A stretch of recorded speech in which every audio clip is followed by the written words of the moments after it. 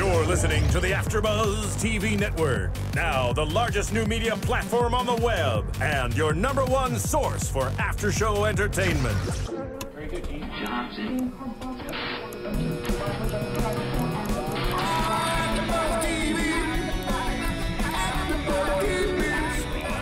AfterBuzz Studios in Los Angeles, California, presented by Maria Menounos and Bing.com, and streaming live thanks to Akamai Technologies. This is AfterBuzz TV's Homeland After Show.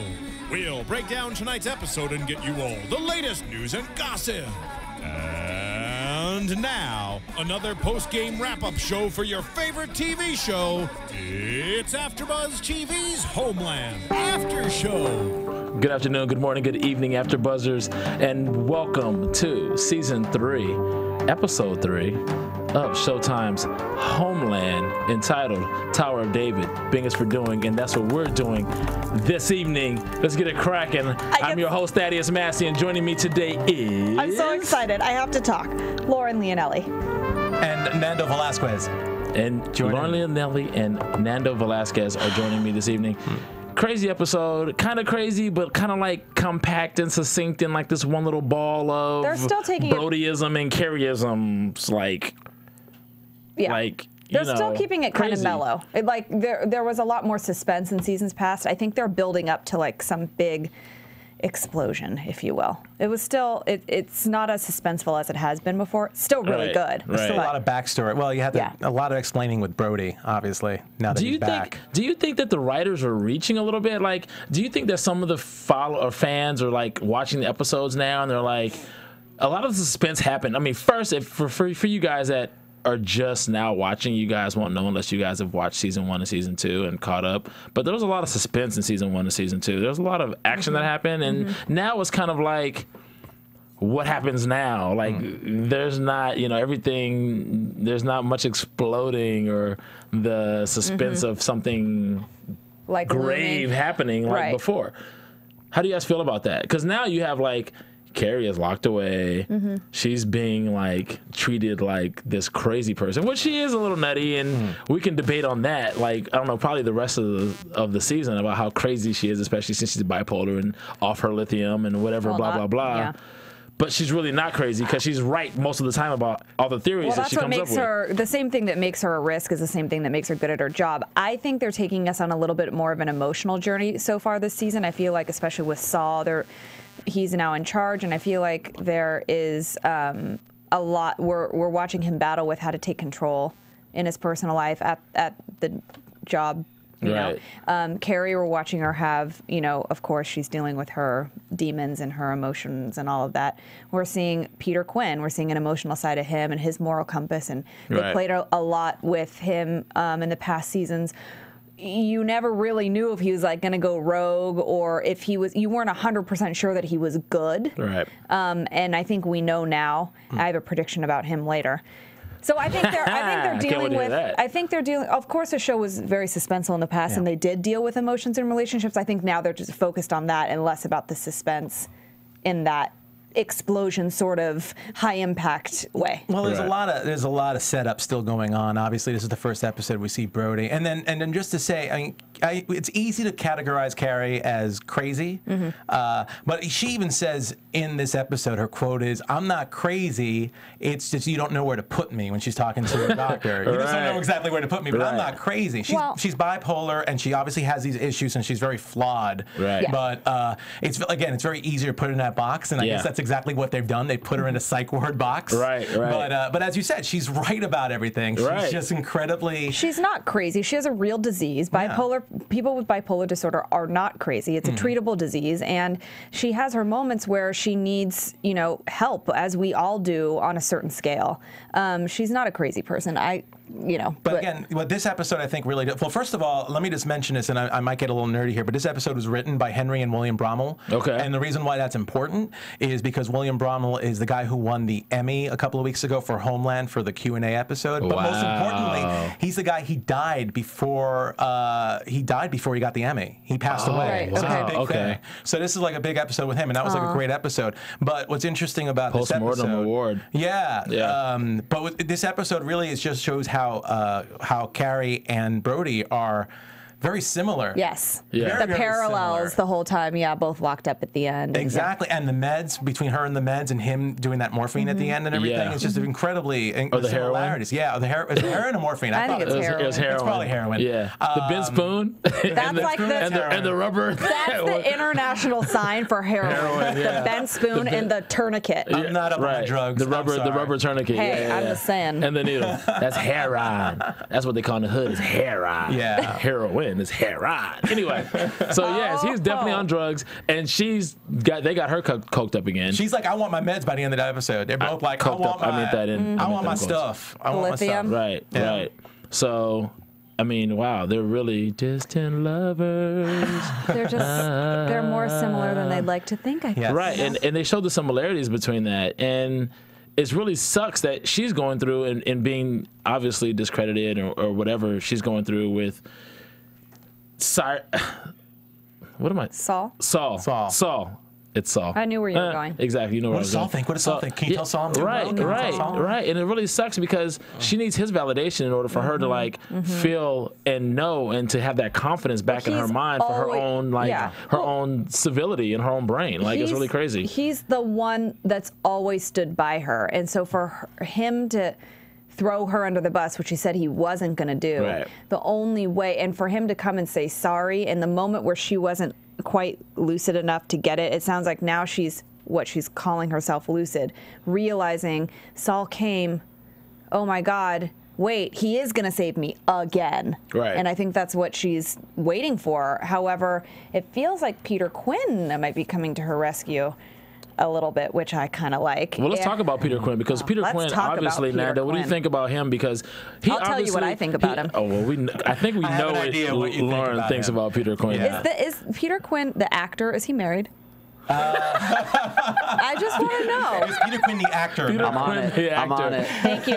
Yeah, can you Martin, find out for us? is This is double Martin check. Baez. Is our, Somebody is our get him on in the show. I don't look for hot guys and find out what wives they have. Right, Yeah, right, so exactly. I'm just wondering if he, as an actor, has something to pull from. That's why I'm asking. to pull from. You're hilarious. Oh, I almost just or spilled my someone else to pull it from. But anyway, when they were in court, they were obviously he was obviously upset Yeah. about how that whole thing went down with her, and when she was like, she just kind of lost it, and I was kind of upset that she But lost it. why did you think that she lost it? This was an interesting. I know we're going back a little to, but why did you think she lost it? Okay, well, moment? were they going to have the hearing and the judge that came up? I think she read him. She's a op- she's a CIA operative and she knows how to read people. They're trained. She's on a whole other level as far as reading people and scenarios. And I think the way the directors did the shot, to me, the way they shot that judge or whoever that judge was, Mm-hmm. yeah, he was or a judge. Yeah. that he was already bought. It just seemed like to me. that. It just how felt you like got- yeah. To me, it felt like he was already bought. She read it, and instead of being able to play the game because Uh-huh. her she's already on the she, her thread is already so thin. Yeah. She can't play the game anymore, and that was the game. She could read this guy, and she could tell that this judge is bought. I- He's already yeah. setting me up. I'm already gonna go down. She could already see all the way into the I- future. And she was like, no, no, no, and she freaked out. I think that if that was the case, it was paranoia. I don't know if that was really going on, but I do know for sure that I felt in that scene that she was like, I am screwed. but did you see that guy though? I think, but I feel like That I don't guy know didn't look was. like a real judge. oh, wh- To wh- me, why he didn't not? look like. What is Ah, a he real? do you want him to have a white wig on and like a Yeah, I want a white Judge damn Judy wig. gaffle? It's a Something. commitment I hearing. want, It's I not want like- Judge Judy Wrinkles. It's a commitment hearing in a psych court. It's not like uh, people's court, or you, you don't go into Supreme Court and see a regular People's court. judge. I don't know, whatever whatever courts you think your official looking judges should Okay, come from. but- No, but I Okay, let definitely just think in that moment she knew like my only way is out is this way. Like if I sit here and talk more, I'm just gonna I'm screwed. Okay, well, let me just say this. Just to me personally, when the guy walked out, I felt like, oh, this is setup. Immediately Huh, before she even went through, even before she went through her psycho paranoia, whatever, hmm. and she wigged out, I was like, oh, this is a setup. This guy, Maybe you're is paranoid not- like Carrie. maybe so. Maybe. Maybe you need to Did take some more- job. You know what? I probably am because I'm right about everything, just like Carrie is. so I think that this guy was CIA, I think it was call a setup. him. I think it was a setup. Okay, I think maybe it it was. I think she read it right. Maybe they'll bring it up later. Maybe they Maybe won't. that's I don't know. that's the Who thing with the show. They always pay attention know. to every detail, and like sometimes I'll be watching, and I don't know if you guys at home feel this way. It's a very complicated storyline. There's a lot of details to pay attention to. I've watched episodes twice and gone back and been like, how did I miss that? So Right. I mean, you really have to pay attention. But I feel like in the moments where you're like, what is going on? I used to get really like I'd rewind and I'd go back and Yeah. forth all the time. But I feel like they always answer questions. So this, it might get addressed, it might not. But it, if it will, if it does get addressed, it's because obviously there's a purpose in the storyline. so- Yeah, I think I don't know. It's kind of one of those things you kind of flip a coin. They're either going to address it or they're not. They're not. But it's uh, both are you know possibilities, and yeah. Anyway, I I um that oh man that and then her dad and her sister bring the drugs in, and they're like, you know, you need to start taking your drugs right now. Like I'm about to see the judge, and I think it was just too much going on at Mm-hmm. too much, too overwhelming. Yeah, it was a little too overwhelming. Like, it's like her family on her side. Why Well, do you want me to start that- popping drugs again? Like right that- now, like don't you- right now at this moment, I need to start taking my lithium right now at this moment. Like really? Don't you think though that that's the whole thing with her struggle is like who who is on my side and who isn't? And right now, I feel like going back to Saul, that's you know he he's been the one guy, the one strong foundation pillar always on her side, and that maybe obviously is what set her over the edge in this instance. He wasn't there for her, and now Right. she's coming back to reality or whatever, and she's taking her meds and she's waiting for that to happen. It feels a little delusional. I mean, I know he feels bad, but does he? Do you really think he's going to come to her rescue? I think Yeah, it still feels manipulative. I mean, the way she was with that uh, with that doctor was like,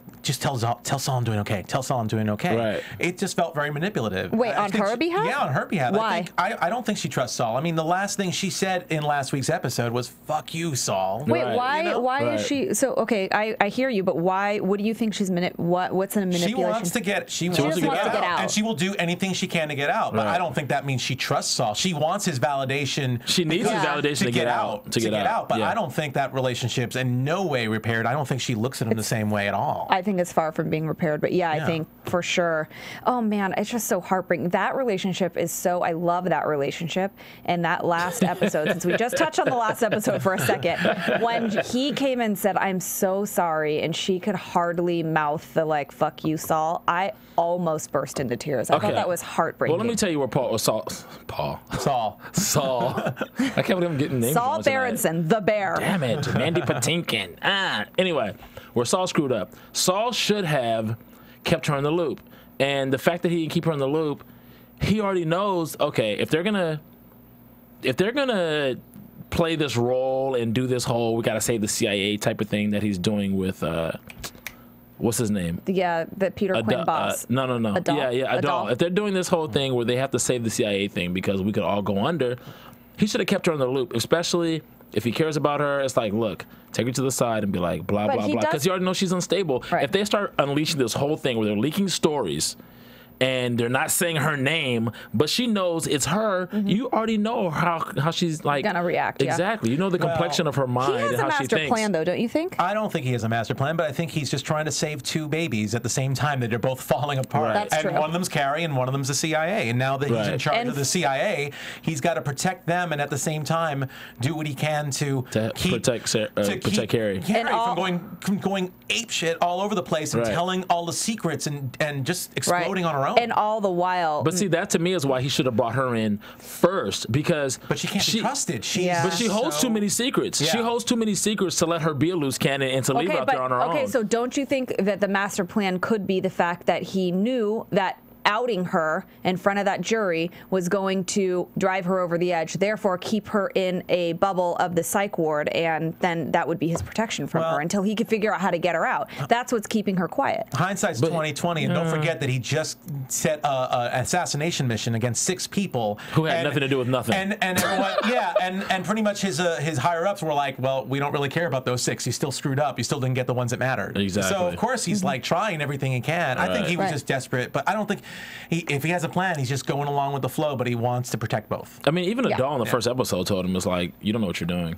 Yeah. You're trying to figure it out as you go. Well, and that's I the think you're struggle with. Saul right now. And yeah. he was unsure of himself until he, definitely did unsure. uh, until he did the assassination uh, on those six he people. didn't. Yeah, and he didn't even want to do that. Yeah. He didn't want to do that either. I think the situation with his wife transferred. The sexual situation with his wife that didn't happen a couple episodes ago, that actually transferred over. That's into, another thing. All the while, he's trying to balance protecting these two babies, if you will, the CIA and Carrie, and he's completely neglecting his wife as per the usual. I'm surprised she hasn't got up and left, like for real yet. Well, there's they're they're in the midst of trying to rebuild and rekindle and Yeah, blah but blah it blah. doesn't So seem like there's she anything- already she came in knowing she was coming into like uh, a hurricane or a storm. So you uh, I if you know, will. but I'm just saying. Well, even with her, he's been unsure what to do with her. Yeah, so it's almost like the CIA and her are very, very similar. It's like Exactly. the same thing. Yeah. That's what that's what I'm saying. The emotional journey that we're, we're being taken on with these characters, like I mm-hmm. said, is that Saul's. It's like he is trying to. He's put in a position to make really big decisions, and you're watching him like be so unstable and Yeah. unsure about it. Right. What, what I don't understand is what arrangement, what agreement did Carrie set up For with these the- guys in, South Caracas, America, in Venezuela. in, in Caracas, for Brody? I know that's because I, it's I don't so know. sketchy and so gray. It's like, what was the arrangement agreement with this guy? He's like a prisoner in his own. Did they even say how he got the gunshot wound? Did they? Yeah, even, they did. trying to cross the border. Uh, two uh, Colombian soldiers, uh, when he was crossing the Colombian-Venezuelan border, uh, Mm-hmm. shot him, and two two of the men that were, I guess, escorting him uh, were killed. If you know Spanish, you would have gotten that. Yeah, they didn't do any subtitles for anything. I think anything they thought it wasn't as important. You'd figure Leave it it to out. and if- Nando. Thanks, Yes. Nando. I can't. I can't speak about the Arabic later on, but I can talk about the Spanish. I can tell you what they said. No, I'm kidding. Um, I think that to touch on why you're trying, why we're figuring out how these guys are involved, and why they're protecting him. I think Carrie slept with one of them because that's all she does. She just has sex. Is sex that worth them. ten million? Is that worth ten million dollars? I really don't think that I'm just making No, but a for joke. Carrie, for Carrie, but for Carrie, it's not about the money anyway. You got to remember that it's not about the or money. It's about keeping. It's about keeping Brody just saying, safe. she you get her in a room with like one guy, and she's like, after five seconds. Which he has I to be a redhead though. She has a thing for redheads. She redheads. likes the gingers. I hope she starts liking Peter Quinn. I really want that to happen. Because remember, Oh, I'm remember in episode two, she saw the guy at the. And he was. I mean, so, not he episode looked- two, he was a episode gi- one. oh yeah, it was a ginger. He Yeah, was it was a total ginger. Total ginge. And yeah. she saw the guy in the what, convenience store, and mm-hmm. she banged him on the steps like a porn movie. I mean, that's how it went down. Somebody's got to love the gingers. But what would make this guy? this guy's name was El Nino. What would make this guy want to hold Brody prisoner and not collect ten million dollars and just deal with this? This. Well, that's what we're trying to figure butt? out. He's tied to Carrie. I know, but why- Carrie, Carrie must have some intel on Yeah, him that's really, really powerful. But Carrie that isn't the even CIA supposed could to squash know. him. But he even Well, said she Carrie doesn't. can't know. This is all set up probably in case things like this happen, and she'll never know that they're going on, but it's there in case it needs to be. It's like a, it's like yeah, it's like a what do you call a fail-safe type of situation? Like, Uh, that's what I feel like. I Yeah. mean, I like he's there and she can't know where he is. She's she got- can't. She doesn't know about anything because even her knowing could be dangerous to his survival. She's because got- you never yeah. know what's going on on that end with I feel- her. yeah, she's got assets or whatever, if you will. I guess that's not the correct term, but she's got people or whatever all over the world probably potentially if she needs to get someone the hell out because we know she goes to the storage unit she gets all these she's got the fake passport fake id she's like bam bam bam this is how she works so he's going to go somewhere and she doesn't even know where but there's places set up all over but he's pick one of them and go But it's funny that that's the final destination. That there's no other place, as as they said, that he's trapped there now. I mean, we I don't know, that. He's No, that's what he says. not El going to be said. That's oh, all. That's all he's saying. right no, that's true. How do we know that now there's a ten million dollar reward on this guy's head? He's just not holding him in case he wants to cash they're in. not Who knows? it they're not playing it out like that because They're not. Well, But he, he trusts this, Carrie enough to do this stuff, but then he wants to keep him there in case. That's and dude can we talk about the creepy doctor Yes. Oh, wait, really I quick before you go on about the creepy doctor, if you guys want to talk about the creepy doctor, anything that's going on with Carrie and Brody being distant lovers right now because they're both like stuck in these wards of um, misery away from each other. Like I don't know how many thousands of miles away they are from each other. You guys can call in 424-256-1729, 424-256-1729, and you guys can correct us or put your two cents in to me, Nando, or Lauren Leonelli. Or you can go onto iTunes and you can let us know what you think there about what we're doing here at the show. Rate and comment, tell a friend, keep the convo going. we obviously like this show enough that we watch it and then we all sit and talk about it. So we're assuming you're on the same page. Right, we're processing as you guys have watched it at the same time. Dude, you guys got to let us know what you think um, and and rate us. And then while you're on iTunes, get yourself a copy of Serial Buddies. Oh yeah, serial you know, buddies. You like some drama and suspense? You're watching Homeland. There's a little drama and suspense and comedy. It's so funny. And Serial Buddies, we've got Maria. She's in it. Christopher Lloyd, Henry Winkler, Kristen Kathie Lee Bears. Gifford. I mean, really, holidays are coming up. Buy yourself a present. Buy presents for your friends. Yes. On you can rent it iTunes. for four ninety nine, or you can buy it for just a dollar more at five ninety nine. You might as well just go ahead and buy it and give it to a friend. That's right. Gift it or hold on to it. I mean, Right? I, I keep it myself and watch it. It's really funny. Anyway, so yes, let's talk about the creepy, Creepy doctor. I mean, he. First of all, He was okay. awesome. I thought have that was an awesome. He's a good character. actor, So good. Um, I That's have how creepy he is. He was on the wire. Was he? Yeah, he was on the wire. Erik Okay. Dellums. Yeah, he was on the wire. I feel like people in it like um, the new the new thing to to make a person scary like an actor scary is give him a really weird freaking haircut and this dude's Did he hair have that freaks haircut, me Nando, out. on the wire? Uh, I know he didn't have that haircut. but Okay. okay like no country for old men Javier Right. Bardem's There you go. hair, Right. hair was so freaking scary. Like it's like weird haircut and you're scary. Right. And also, this guy's a really good actor, and his accent is really creepy. And the fact that he like Yeah. strokes that little boy's hand. Oh, What is that about? This boy Paco that he I brings think- around with him in the tie, uh, the tie rubber band. He's like teaching him. Is that like his like? Dude, he's yeah, so That's creepy. like his uh, apprentice or something. That's I weird. think he's having sexual relations with the little boy. Oh, I- yeah. I mean, no, you're right. You're probably right. He They're probably, you're probably alluding right. to It's kind of evident. like I wrote that, okay? I mean, that is what they're alluding to, and No, he kind of is. I it's think. clearly inappropriate. It's I'm not saying, and he says clearly inappropriate. and I feel like He's clearly supposed to be in school at that time of the day. It's this very Cheshire cat.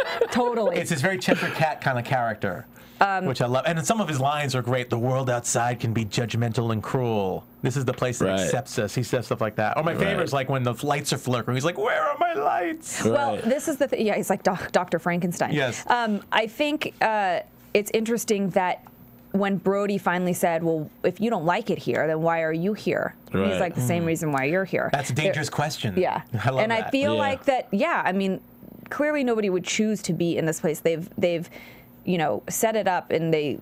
It's like in ruins. It's a. Hor- it seems like a horrible place to be. So all. and why does it like seem like it's a hundred stories? Well, it is. The Yeah. building is like, It's very decrepit. It looks like it goes underground a bit too. but it seems like it's like a hundred stories in It the air. It might be. It's Yeah. freaking crazy. It reminds me. I don't know if you guys saw Dredd with Yeah, uh, Dredd, Karl yeah. Ur- Ur- Urban. that whole. But yeah, that, whole remember that whole thing with Mm-hmm. the whole like tenement that was like a hundred stories high. That's what it seems like. He- Well, the doctor it's a- called it an abyss beyond healing that we call home. That's Well, what he called jeez. it. Oh, my goodness. That's a goodness. mouthful. I How do you love- say? How do you say An that abyss line? beyond healing. I love his alliteration. I love his lines. I couldn't help but Well, write them with down. that with he that has some good lines, accent, yeah. you can say anything. It's like Shakespearean almost. Yeah, but you see his eyes too, along with the lines. Everything was like creepy with so him. creepy, Yeah. so good. But I feel like I'm not 100% positive that he's bad yet. I know Hmm. they're alluding to his like pedophilic behavior, which is obviously bad. But if that's not true, it's like I'm not 100% like that dude's bad. He's creepy for sure, but maybe he might be the guy that gets him out in the end.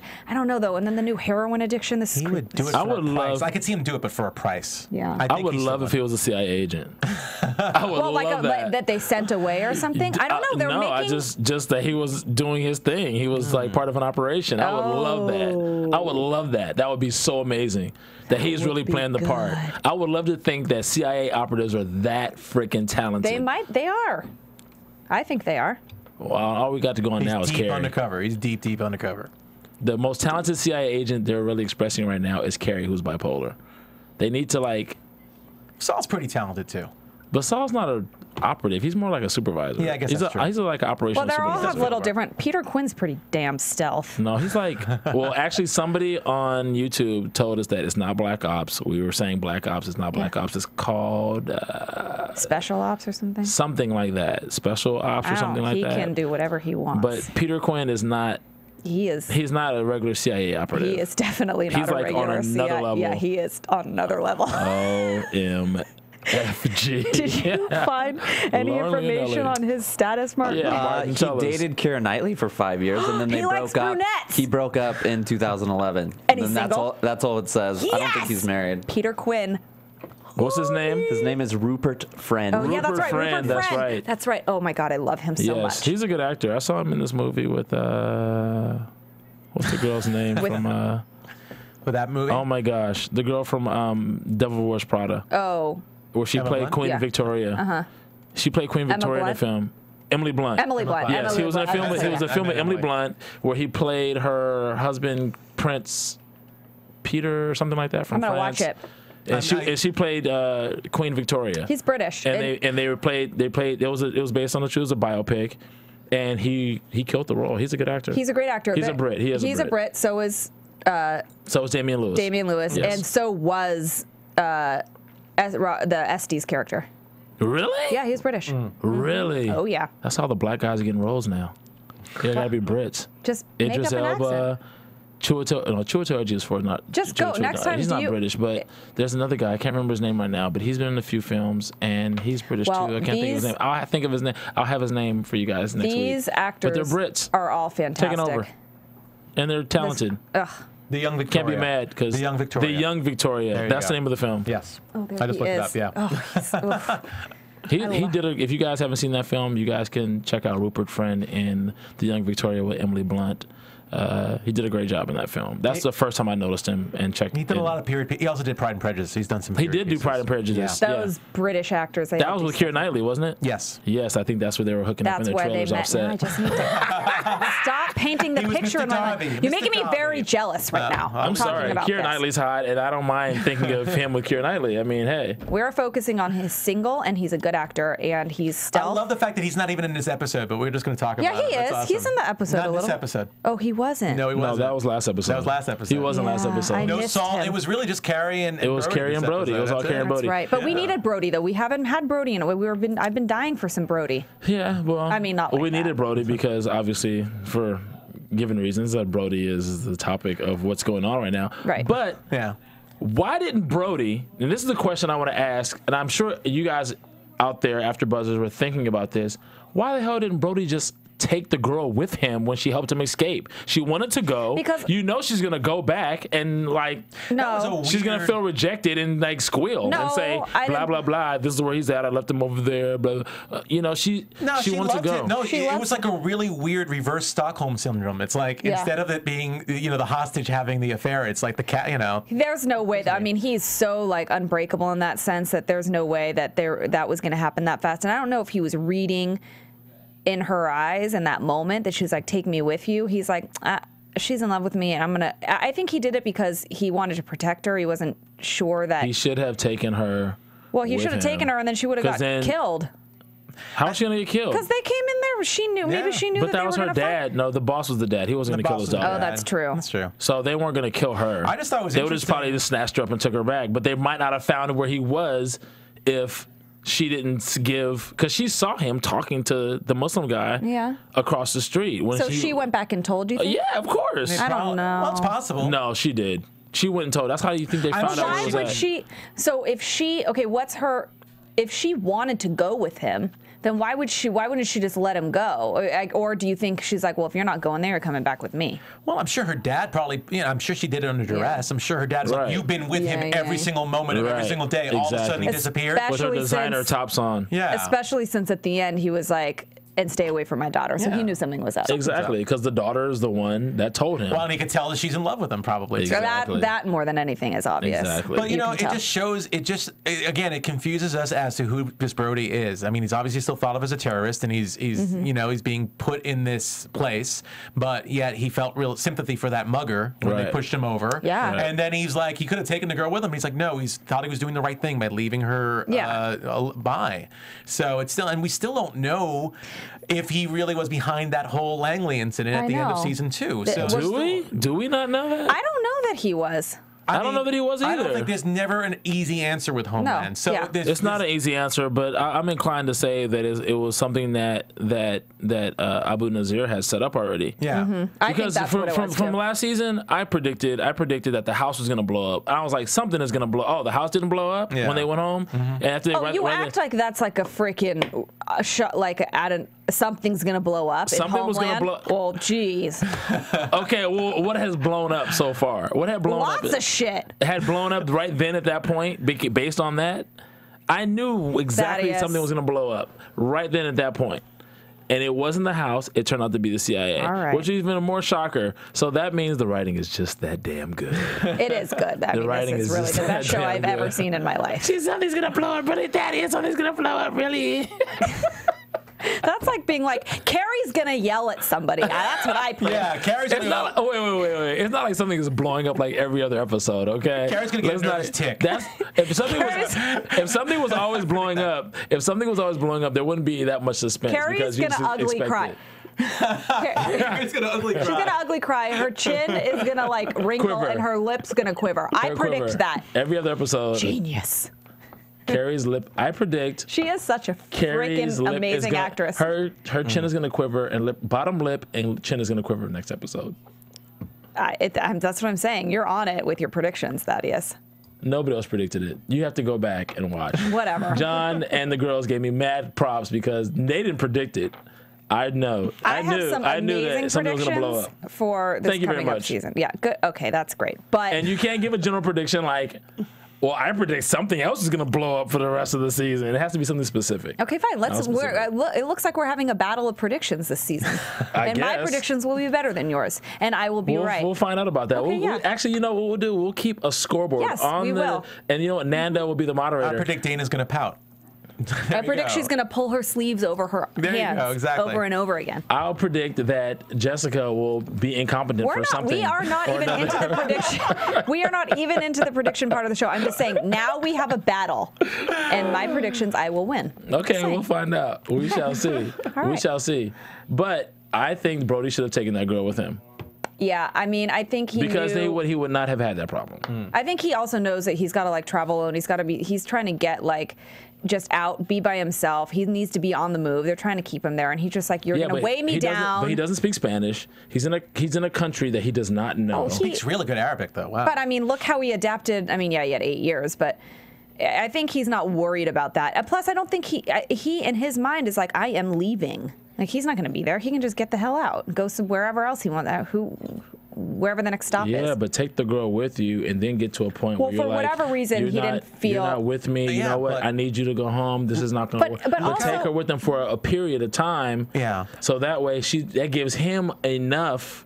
He's easily Head- tracked head if he's start. got gonna do people. that. Yeah. And and don't forget. Yeah, I mean, that's he why his got, ass got he got busted. outed by he got outed at the mosque like within a day. Mm-hmm. So I mean, this guy maybe you know from from all the How Interpol did he get- reports or whatever. No, that's the point. Yeah, see, it wasn't her that went back and told her dad. That guy, the mosque guy, the mo, the Why they, mosque. if the mosque guy told him they wouldn't have come in and the shot mosque guy him up. probably told the Venezuelan officials, and maybe El Nino had some Okay, contacts but in there. this is and why. found out Wait, too. listen though. Yeah. He. They oh, had that's to true kill, because the, the- he did come and tell them that you're a Yeah. Muslim. He said you're a terrorist. You're a terrorist. And then they came. Yeah, that's the true. reason why you're they right, killed Nando. those, the reason why they killed those guys, though, anybody that comes in contact with Nicholas Brody has to die because nobody can know he is alive. Yeah. There's a ten million dollar bounty on this guy's head, and anybody that knows he is there is got to be taken out. That's why they went in. Even if that guy, that's why they went in and shot all those people up. They nobody can know. Hmm.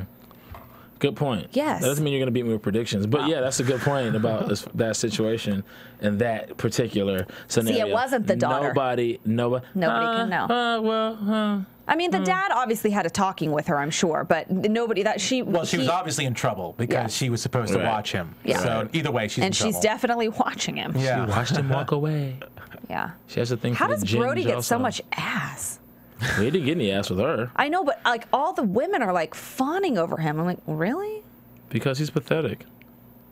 I don't know. that's why. I think they think he's like badass or something. But I, again, I mean, let's I know know. where His I know where my loyalty lies. Just like Jay Z said, I don't respect the guy who got shot. I respect the shooter. This guy is a victim. How do you fall in with a guy who's a victim? Exactly. So you're gonna, you're gonna fall for Brody, who's always victimized. Hey, I don't get it. He's I'm- always getting pimped by somebody. What- He was getting look. pimped by Abu Nazir. Then he was getting pimped by the U.S. government. This guy has never been the boss of any situation in any scenario whatsoever. that's what I'm saying. That's my question. How does he get so much ass? class. Because he's pathetic. No, And women feel sorry for him. stupid. No, I don't think so. I don't think so either. But I think people agree. think he's badass, and he He's kind not of getting is. that much Okay. ass. Hey, look, Carrie, I, I wouldn't put Carrie on. Um, how I, many I, I wouldn't mark Carrie on my headboard if, I, many if it was me. I'm sorry.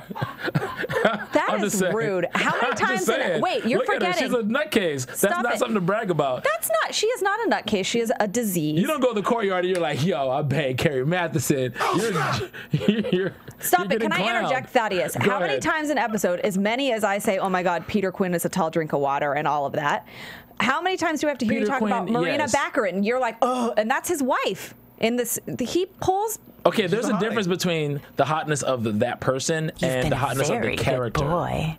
Morena Baccarin Yeah, he's not saying is Jessica hot. Brody. Jessica is not hot.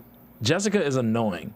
Morena Baccarin is hot. There's a difference. I'm differentiating character I'm from just person. saying. you want to marry Peter Quinn? Right. Peter Quinn. Peter Quinn is cool. No, I want to. I like Damian Rupert Lewis. Friend. Damian Lewis is cool. Brody is pathetic. Okay, whatever. There's a I'm just difference. saying he pulls a lot of chicks, mm-hmm. and it's interesting. And But what chicks is he pulling? what? He has a wife that he was already married to, that he left behind for eight years. And she's gorgeous. Then- Carrie. Yeah. And now this And chick's Car- like That's my- spends yeah. five minutes with him, and she's like, oh, yeah, she's like 15 years old. I she mean, is not. She's older. than No, she's older than that. I'm it's just more than five making, minutes. we don't have to talk about it uh, for this long. I'm just making a point that everyone seems to be attracted to Nicholas Brody. It's like, damn, I, I think she's more attracted to freedom. maybe. she wants to get like- the I like F that out line. of He can't, and maybe that's why he didn't take her with him. He can't offer her that. He's not free. He's on the run. Yeah. Like he's trapped. Like he was like, you gotta She's just baggage. Yeah, she's total baggage. I completely agree. So mm-hmm. that's why he didn't take her with him. Yeah, but he should have whatever. taken her though. Whatever. that's your opinion. I just think he should have You're taken entitled. her. Okay. I mean, since all the girls want Brody anyway, he can just pick up some other girl on the mm-hmm. way. Go to the Oh, next trust me, there will be somebody else. Yeah, I'm sure, right? I don't know. I'm not so sure about that one. Mm. if he can get I'm out not of there. convinced. Yeah. If he can get out of If there. it was Peter, if, if, it, if it was Peter Quinn on the run, he'd be able to pimp every chick from here down to the tip of South America. Mm-hmm. Brody, nah, I'm not. Nah. Well, you might so be far we but I have ain't seen buying. Peter Quinn hook up with zero women, and Brody hook up with a lot. And I'm not agreeing with That's that. by choice. I'm just saying. we haven't seen enough of Peter Quinn. He's Peter- gonna he's when- gonna hook up. We can when, say that. when for Yeah, Peter Quinn is. is off, He's he's, at hook up. happy hour pimping all the chicks. I chicks. know. Ooh. When he's off, when he's not out assassinating people, because he's, right, uh, when he's not he's undercover, yeah, right. secret op. When he's not assassinating people, he's getting his ass. I love Trust me. Peter Quinn is cool. Brody, pathetic. Anyway, so we've got Brody in Venezuela. He's trying to get the hell out. And we got Cla- uh, we got Carrie in uh, in the psych ward trying to get the hell out. Okay, so who's this? Okay, so let's talk about Carrie because we've been talking about Brody for a minute.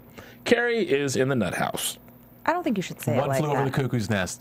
She's in much. the psych ward. She's in the psych She's ward. in the psych ward, and she's been there for a while, and she's kind of losing her marbles a little bit. Mm-hmm. And and you know, this is something I mentioned to you when we watched the episode. Is that I think a sane person stuck in a psych ward could potentially lose their mind. That's what I think it is. in a psych ward. That's what I think. I think Especially when has- you're when you're like medicated. Like I think that anybody with a sane sane mind, like anybody else Mm-hmm. driving on the 405 or the 10 freeway, will lose their mind in a psych ward. I feel like that's it for sure. She definitely has a disease. Yes. And it's definitely treatable. And she didn't take her meds and it got the best of her. But now and she and she yeah, so that got her in an unfortunate situation and she reacted poorly, which made her look more uh, not sane than she really potentially could be. Now she's back in the sane place, but because she's so frustrated and trapped, she's reacting like a normal person would. But since she's got this disease, it's making her look like she's not fully recovered. Okay, well, you know why she's so frustrated?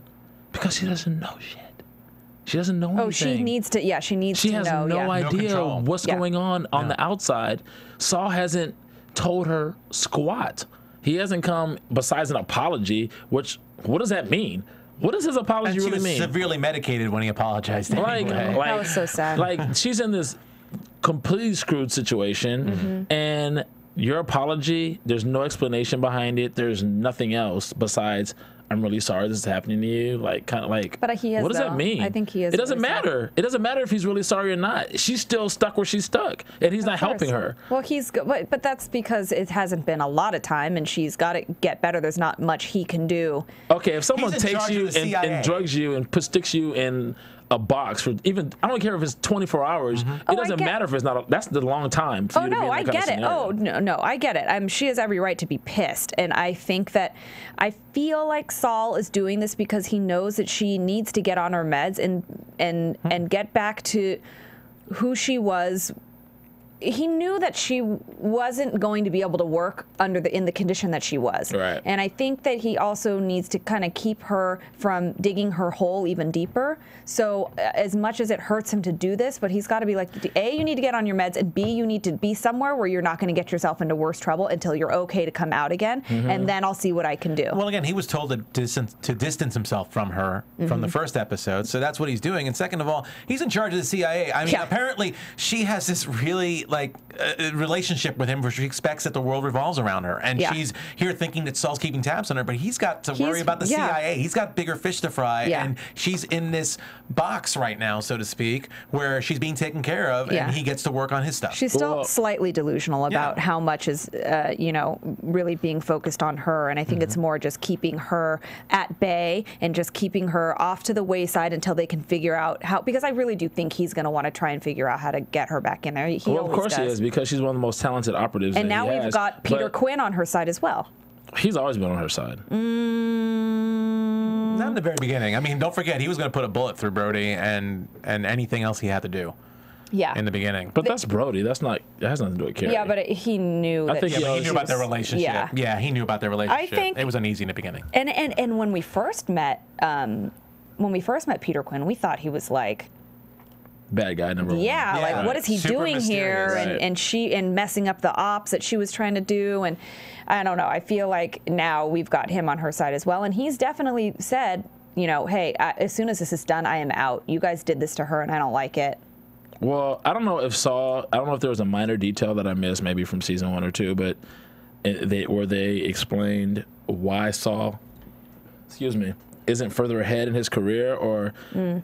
is it because he wants to be where he is, or because maybe he didn't get the I promotions or whatever? He, I, I, I don't, I, this is what I got out of it. Yeah. I think that he likes being a field op. He likes doing that stuff. He doesn't want the responsibility. And that, Yeah. that's what makes that's what makes him now so undecided. Yeah, he didn't and- want that yeah. responsibility, and Right. he loved he loved the relationship he had between uh, Carrie Carrie. and Estes. He loved being the intermediary. Yeah, he did. That he could still call his own shots and kind of push Estes a certain ways and control Carrie. But now he doesn't have that. He has to answer to people higher up that he can't exactly. influence. It's harder for him now to protect her Yeah. in the position that he's in. Whereas when he was just in charge of her, he could kind of be like, dude, let me, let me He deal with liked her. being middle management. Yeah, he did. Hmm. I That's agree what I with that. Yeah. I agree with what that. do you guys think? I'm not convinced about that We'll see. because I don't know. Because to me, he's like not doing a good job. In his, the position. And it's, not. It's a high pressure it's- job. It, it is a high pressure job, and it's not just because he doesn't want to do it. I think he doesn't want to do it because he knew he wouldn't be good at that. He knew that it's like he's not qualified to to be that guy. Hmm. You know, you got to make hard choices, like the And- one, and like a lot of the hard choices that Estes made, which made us not like And him. I think, yeah, because Estes know? was uh, super cold and just like, yeah, very black and white. And we see Saul has a, an emotional compass. Because in. Estes' position, he was playing the, the the the he was the middle management of the actual bureaucrats that were running things, or just just politics and the actual operative, the, Mm-hmm. the ops, ops, the yeah. ops situation. So that's the situ that's the that's Yeah. the position there's that always Estes someone was in. there's always someone to answer to Right. but i think that you know like we said saul being in this position where he is now closer to the top it's harder for him to protect carrie and and i think that um, the difference between estes and saul is that estes had no emotional anything I think and- he should have gotten to her and been like, "Look, this is all gonna blow over. Just roll with me. I got you." He get some kind of message, something. Yeah, but we and let can't- her be confident and be like, "Okay." Yeah, but we can't- He's always had my back, and I know that yes but for the sake of good through. tv that can't happen we have to wonder Hmm. yeah i think that's why they can't just be like hey don't worry I'm not sure. You got to have something to wonder about. yeah, come on. You're, you're going to be like, hey, hey guys, don't worry, I got you. Because to me, that makes me that that to me is not consistent with Saul's character. That makes to me it makes it No, look more like Saul. Saul doesn't. He he. It makes him look more non-qualified to do what he's doing, Okay. incompetent. Like, Right. And he's not. This guy, he he's, He's always smart. shown he's smart and he knows what he's doing and blah blah blah. But now he's- there's the dog guys here. But he's great at throwing ideas up top and being Mm-hmm. the guy that saves the day, but he's not the guy that makes the decision ultimately. He passes it on to and people like Estes. and we see that. But now he's in a position to make these cho- well, and decisions. that's what, And he's not doing a he's good not job. doing a good job, and that's we That's know, my whole point. That's what we're saying. It's but not we know- consistent with his character, we know, as far as I'm concerned. I think it is no, consistent. I think is. we're saying it is He can't consistent even with make the character. decisions at home. That's what we're were saying, like he can't even do that. He can't even pull the trigger with his wife. He can't. Yeah. He that's not him. And this is consistent with Saul. I think also the He's in a different position now. That's why. Yeah, but when he was in the position before, and every time he threw something up the ladder, and it was like that's the thing they should do. That's all he has to do is keep doing the same Yeah. thing. Now he's in a position just to That's instead of not throwing for- it up, yeah. he can just do it. Let it. me put it this way: the- in the same way that Carrie needed validation for Saul, in a weird way, although Saul's not saying Estes, Estes, Estes, Saul needs validation for his decisions almost. It's like he needs that, and you. when he doesn't have that, he has to make the decision. He doesn't have anyone to bounce it off of. Yeah, I think it's definitely an adjustment. I don't know if we're going to see him get better at it, but Mm. right now he's not doing the best job. And I also feel like that uh, So basically, we miss Estes. that no, we don't. I think No, that no, no, that's not what we're saying. no, that's not what we're saying. We're just saying Saul without Estes is a very different person. and I think that there's a whole there's a we we have to remember too that the writing on the show is brilliant as well as the mm-hmm. acting and all of that. And storyline yes. wise, there's a reason why Saul went in there. You're saying why did he go in there and say sorry to her? What why would he even? Bu- because they want you to know. Well, we that knew that was coming. he feels guilty. He yeah, feels he should feel guilty. and they want you to But we know- knew it was coming. but he can't make a decision to. He can't say. But I, that's why this is my point. A guy like Estes who has no emotions can make those decisions Can be like that. cold-blooded. And and that is not Saul. No, we need to see, yeah, he threw Carrie under the bus, but we need to see that he didn't, that it's breaking his heart. And we needed to see him say sorry. What happens after that? Obviously, they're going to make that work. But Hmm. I feel like that we need to see that emotion, emotionality from him because that's who he is. That's why he went in there and did that. Hmm. And I think he's going to get her out of it. Well, he is. Well, maybe he won't. Maybe Peter Quinn will get her out of this situation. Stop. You get me every time you say that. or, or maybe Paul Franklin will get her out of that situation. Ah. or, or yeah, let's him. talk about him. Because that's the, The mystery, lawyer. that's the mystery man right now, Paul Franklin. Yeah. So The who mysterious is this visitor. attorney at law that came to visit her? Hmm. Well, Who is this guy, and what is his agenda? Yeah. And who sent him in? Um, I think that it was nice to see Carrie in the moment go, I know what you're doing. Because clearly that is what he's doing. And Right. yes, Even on meds. and e- and yes, she is dealing with. She can read people. She's so good Reddit. at that. That's what I'm saying. So even though she just went through this emotional turmoil and she's been super doped up, and now she's coming back, we're seeing her come back too. We're Mm-hmm. seeing her frustration and whatever, and wondering if she's stable enough in those moments. And that's the thing you battle with watching Carrie Mathison character the whole time. Is she stable enough? Is this decision that she's making about to be really good or really bad? Right. But we get those little snippets where we're like, ah, there she is. She called him out, and it was, and then you go, ah, she's back. Right. It's like giving you that. She's yeah. I love that. It's like Paul said, I'm on your side. She goes, I'm on your side. Where have I heard that before? And then she just Right. went off on him. Totally Right. awesome. Love it. Yeah. Right. And uh, yeah, I guess he wanted to set up a meeting with an associate.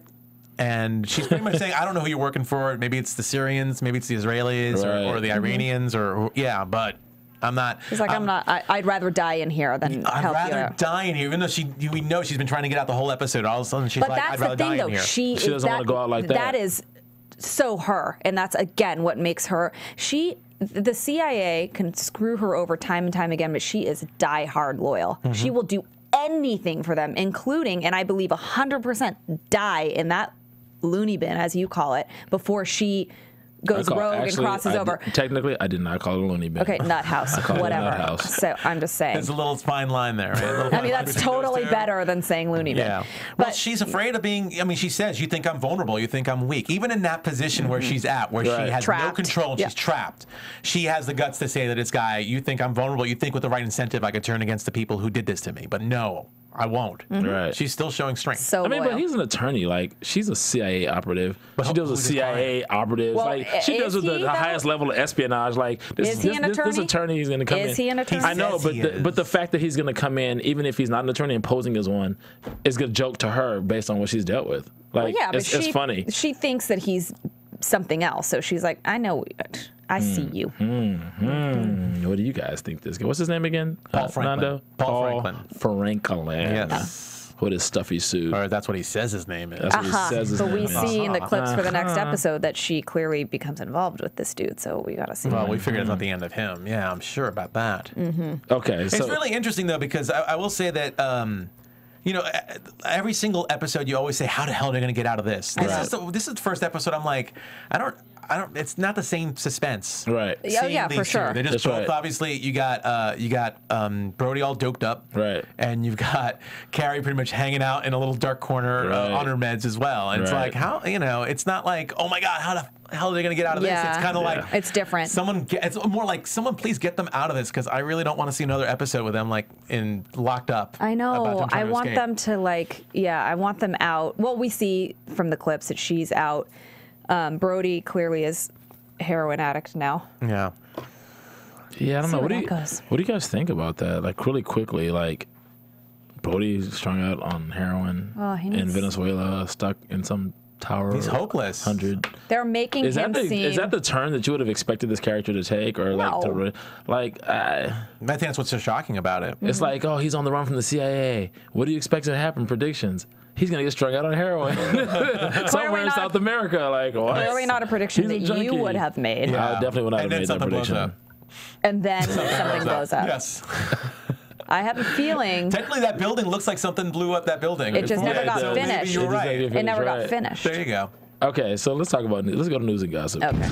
AfterBuzz TV What a great way to end it. Well, the one big thing that just got announced today is that uh, Audible.com is doing something with 20th Century Fox uh, Television, who, who is the uh, production company behind Homeland, and they're actually doing a special 30-minute audiobook That's cool. that's uh, a side story that, that has to feature that features uh, Nicholas Brody, and it's being voiced by Damian Lewis. So Where- he's doing this So- on Audible.com. Okay. So is this like the plots within the plots, or like? Uh, it's probably just going to talk more about his time. I'm, I'm assuming it's going to talk more about his time in Venezuela. Maybe it'll flesh out some more of the characters, Okay, like yeah. El Nino or that creepy doctor or Esme. But Interesting. Yeah, I haven't obviously had a chance. They they released it right after this episode aired. So go on Audible right now and look for it. I'm sure it'll be it'll be something people want to talk about, and Yeah. That's maybe they'll get some clues as to you know, what's going, on? Yeah. Because because if you kind of watch it, like things are a little bit vague Yeah. Yeah. to a certain degree. We're Yeah. asking a lot of questions. There's a lot of layers, and they're gonna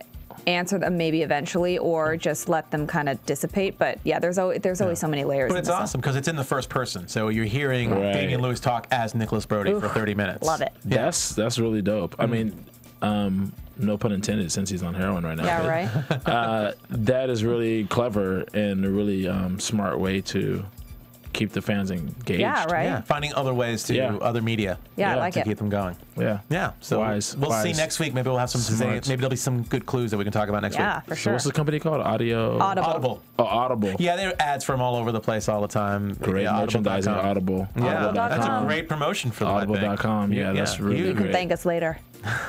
Here at AfterBuzz Yes. TV. Okay, well, let's go into. Is that all the news and gossip? That's all I got. Okay, let's go to predictions. Yeah, let's go to predictions.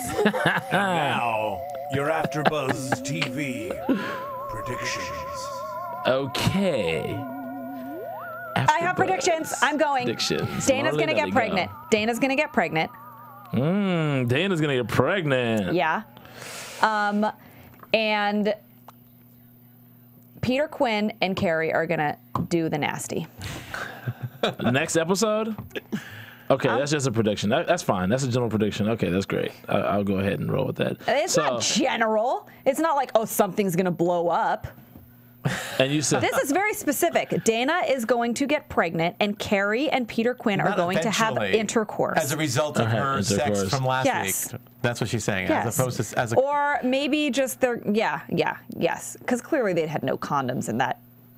in that place. laundry room. was The that clear? room, Was it clear? Can you see in the sheets uh, on the floor? Well, it showed them having sex and no unwrapping happened. Do you so really think that That's a little too graphic. responsibly? You think she That's too graphic to show the unwrapping. That's too graphic. Yeah, Well- but she's she's she's out of control herself. So do you really think she's going to say, "Stop, wait a second, can you cover it"? All Yeah. right. Yeah, Right. I don't think Let's that's going to real. happen. Maybe yeah. he already had it on. Anyway, who knows? He just walks He didn't even know she was going to be That's, there. wh- that's why he's in there because he Horrible. likes to keep condoms on all Hey, the time. the guys with game got it, go, go- got it, got it on, and the girls are like, "Oh my gosh, I didn't see you do." it. It's like I No. know, I know you didn't see it. That's the that's the Those are my predictions. that's the point. okay, Nando, what's your prediction? Uh, you know, well, it looks obviously like uh, like Carrie's going to get out. I think uh, Brody is going to uh, also get out, but I think I think there's going to be a rescue mission for Brody. Hmm. I'm not sure exactly hmm. who's going to rescue. Maybe it's Paul Franklin. We still don't know who did the attack on Langley. It could have something to do Good with that call. lawyer. It could it could have something to do with him. But I have a feeling maybe there'll be a setup. They're trying to get him to be the fall guy. Ooh, And, I and if they if they try and lure her in by saying help Brody, oh she'll be in like Oh, that. yeah. That's how they get her. Oh yeah, Yeah. I can totally see that. Yep. They, they have to connect sooner or later, For so I think that's how it's gonna. Yeah. And he's doped up. He's too doped up to escape on his own. So Yeah. there will be a rescue mission to get. Him. And he needs out. if they're giving him heroin, they're going to keep him there with that. Exactly. So Okay, well, I think they're going to find out that neither Abu Nazir nor Brody had anything to do with the explosion. Mm. stupid prediction. and then something. That's goes up. quite all right. As No, opposed to the obvious It's a good- Dana's going to get pregnant prediction. Is that obvious?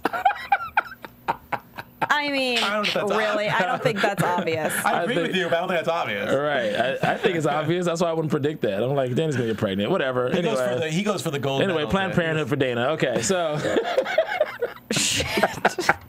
Whatever. My predictions are clearly okay. I don't know to if you guys remember episode two when the girl I can't remember her name that was supposed to be doing all the paper the paper trail on the monies. Uh-huh. Yeah, Fara. That's her name, Yeah, Fara. her Okay, name, so Fara. remember they found these guys were like had something to do with the, bankers. money, Yeah, the, the bank- bankers. okay. Mm-hmm. I think there's something that's looming that has something to do conspiratorially with the whole explosion and all that. It's going to trace back to them with the monies. Oh wow, you're going really general on that. That's really general because really they do have something to do You with that. yeah, but we don't know specifically what it is and how deep and how far it So your goes. prediction is we find out. My prediction is we know for sure that they did. It's not. It's not definite right now. Lauren Leonelli We're just- one, we're just- Thaddeus Massey zero. Whatever. Whatever. There's no small Like I predictions. said- there's just small. There's just small. No, uh, the There's no predictions are good. I'm not. Yeah. I'm Like I saying mine are said, I wonder how many of you guys at home like, really, Lauren? Dana's gonna get pregnant, really? What, Martin? anyway, until next time, where can we find you guys? I am Lauren Leonelli. You can find me at Lauren Leonelli on Twitter, Facebook, Instagram, Vine, and my website. I love you, Lauren. And I'm, and I'm Nando Velasquez. You can find me on Twitter at Nandovel. And I'm Thaddeus Massey. You can find me on Twitter and Instagram at Club Thaddeus. Until next time, after buzzers. Carrie and, and, and Brody's theme song.